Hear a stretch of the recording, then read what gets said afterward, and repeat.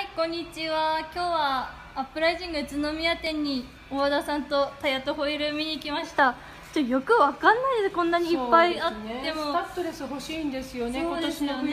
早めにつけたいと思うので、あ店員さんいたので。あ店員さんに聞きましょう。お願いしますよろしくお願いします。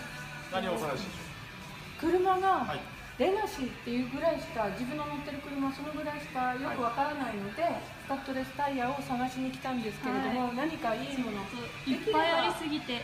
タイヤとホイールのセットの方がいいっていうふうにちらっと聞いたので、おすすめのがあったらお願いします。ょレガシーはい。とっておきのがあります。あります？お、よかったですね。あ。えそれです、か？なんでしょう？今今をときめくスバルの BRZ おのー、かっ字こいい。これレガシーにちょっと流用してかっこよく決めてる方結構いらっしゃいますんで、なかなか。おいつーもほぼなしの、あ綺麗な。まあ、タイヤは中古品ではい。ほとんど使ってない。あ山の。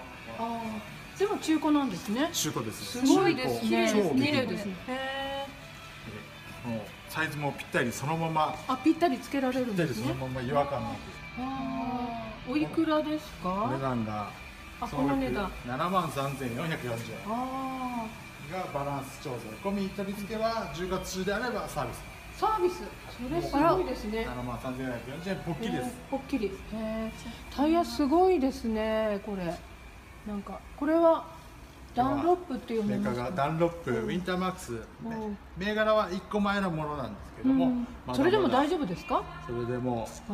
保存方法をしっかり日の当たらないところにやってますんで、こあそうなんですね。こはバッチリです。あバッチリ。店員さんがそうおっしゃるんでしたらすごく安心です。へえポーチもその部分もは全部込みで今月中であればこの値段で全てできますのでよろしかったらはいわかりました。ちょっと相談してみます。そうですね。もしあれでしたらキープしておいていただければと思います、じゃあ、詳しくはアップライジングで。検索。検索。はい。